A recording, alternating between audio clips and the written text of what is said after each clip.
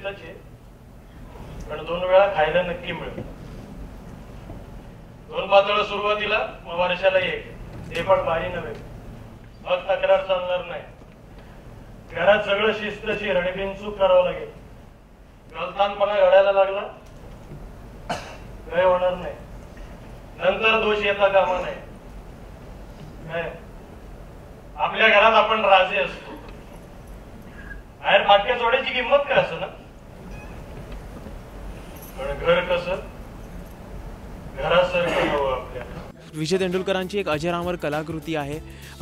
काय म्हणजे मनात भावना होती जेव्हा कॅरेक्टर तू साकारलंस? कोणकोणत्या गोष्टी पैलू अभ्यास केल्या होत्यास तू? काय सांगशील? सखाराम बाइंडर तू म्हणालास तसंच खरंच अजरामर कलाकृती आहे. खूप महत्त्वाचं नाटक आहे रंगभूमीवरचं. आणि खूप मोठमोठ्या नटांनी ते पेरलेलं आहे. निळूभाऊ लालनताई यांनी सखाराममध्ये कामं केली आहेत आणि ते अजरामरकडून ठेवलेलं आहे. अशा प्रकारचं महत्त्वाचं नाटक करताना कुठेतरी एक तेंडुलकरांचे शब्द त्यांची वाक्य त्यांचे कॅरेक्टर पोचवणं लोकांना कारण लोकांनी वाचलेलं आहे लोकांना माहिती आहे. सो मला असं वाटतं की ते खूप महत्त्वाचं आहे. आणि वेगळ्या अर्थाने हे शिवधनुष्य आहे असं मला वाटतं. पण सखारामचे जे ओव्हरऑल जे काही पैलू आहे जे निळू फुलेंनी त्या काळात ते केलेले तर ते तुला आत्मसात करावे लागले असतील. कारण का ग- तसे काही तू व्हिडिओज वगैरे तू बघितलेलेस का? काय शैली होती आणि ती आजच्या काळात उतरवणं वगैरे? नाही मी काही बघितलं नाही. कारण मला असं वाटतं की कुठेतरी बघितल्यानंतर तो एक इम्पॅक्ट आपल्यावर राहतो. म्हणून मी काहीही बघितलं नाही. मी शब्दांना वाक्यांना कॅरेक्टरला महत्त्व दिलं.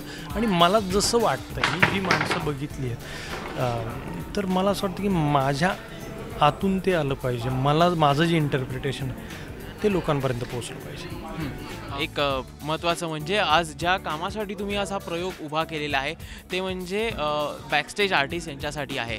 तर हे सगळं करताना तुम्हाला असं वाटतं पहिल्यांदाच तुम्ही हे सगळं हातभार अशा पद्धतीचा लावताय मोठ्या प्रमाणावरती. तर हे सगळं काय आहे? थोडंसं थोडक्यात असा विचार आला की पाच प्रयोग करू. पाच प्रयोगामध्ये प्रतिसाद खूप चांगला मिळेल लोकांचा. मग काय करूया? म्हणजे मुक्ताच्याही डोक्यात आलं की रंगमंच मागील जे कलाकार आहेत ज्यांच्यामुळे आम्ही प्रकाश स्वतः येतो अशा लोकांसाठी काहीतरी करूया. आणि म्हणून मग ती कन्सेप्ट आवडली आणि सगळ्यांनीच सपोर्ट केला. आणि आम्हालाही खूप बरं वाटतं कारण ती लोकं खूप झटत असतात. शेवटचा प्रश्न. ते म्हणजे सखारामसारखा एक विलन आज ज्याला बघितल्यावरती लोक अक्षरशः शिवाय देतात. पण त्या सखारामधले असे कोणते पाच पैलू आहेत जे तुला व्यक्तिशः आवडतात? त्यातला माणूस आवडतो मला की तो सखाराम प्रत्येक बाईला व्यवस्थित विल्हेवाट करतो.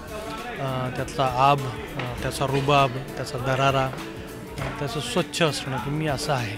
सो या गोष्टी आवडतात. थँक्यू